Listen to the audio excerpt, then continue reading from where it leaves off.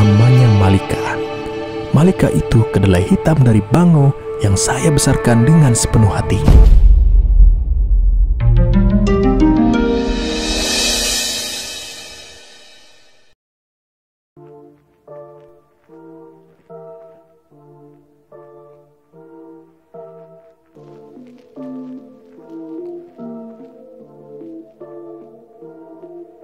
Halo cuy, selamat datang di channel Aji Pabregas.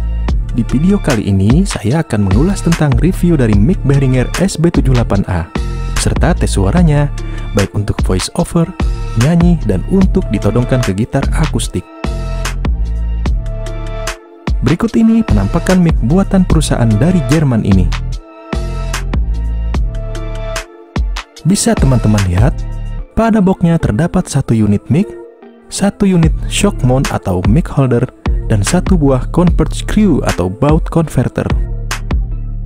Sayangnya, pada pembelian mic ini tidak disertai kabelnya.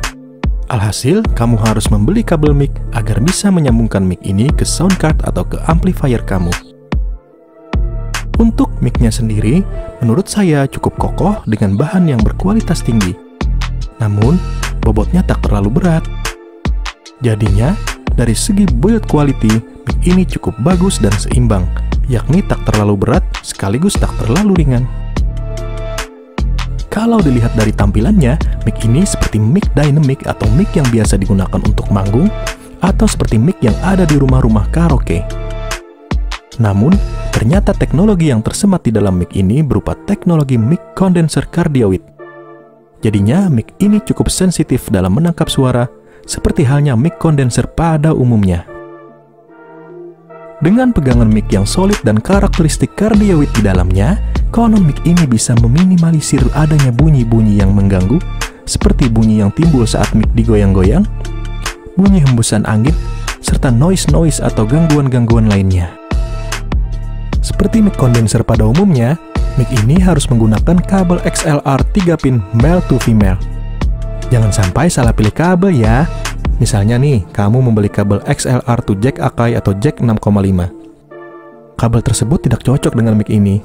Kabel tersebut cocoknya untuk mic dynamic. Sedangkan mic ini tergolong ke dalam jenis mic condenser seperti yang dijelaskan sebelumnya. Jadi, pastikan agar kamu membeli jenis kabel XLR male to XLR female agar kamu bisa menyambungkan mic ini ke sound card atau ke audio interface milik kamu. Sebagai tambahan, karena mic ini tergolong mic condenser, jadi mic ini memerlukan phantom power 48 volt. Pastikan kalau sound card yang kamu miliki sudah support phantom power ya. Berikut ini spesifikasi dari mic condenser cardioid Behringer SB78A.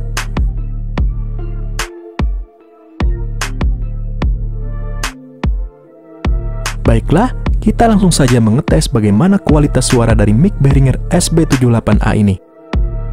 Pada tes kali ini, kita coba untuk tes voice over, tes menyanyi atau tes vokal, dan tes main gitar dengan ditodong mic ini.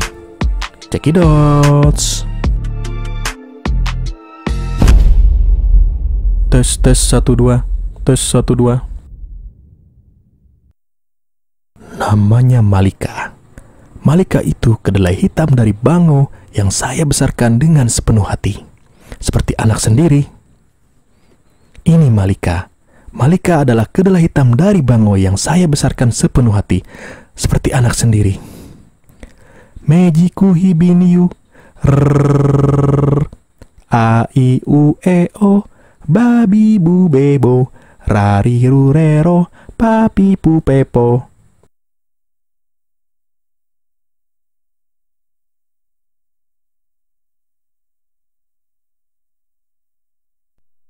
Come to me and go with me, cause you are my angel. It's gonna be okay if with you. It's the love, love, love, love. When you hear, hear, hear. When you smile, can make me feel so grand and feel so nice. It's the love, love, love, love. when you hear, hear, hear, when you smile can make me feel so great and feel so nice.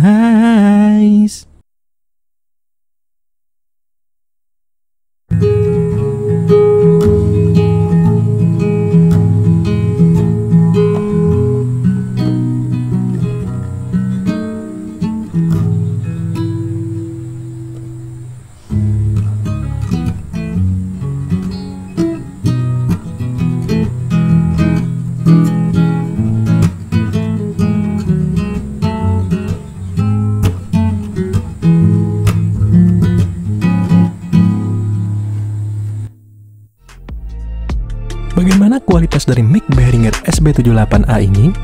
Kalau menurut saya sih cukup bagus dan sesuai ekspektasi saya. Apalagi di range harganya yang hanya 900 ribuan, mic ini sudah cukup mumpuni bagi saya. Akan tetapi, semua kembali ke selera masing-masing. Karena setiap orang memiliki selera yang berbeda-beda, seperti halnya aku dan juga kamu. Hai.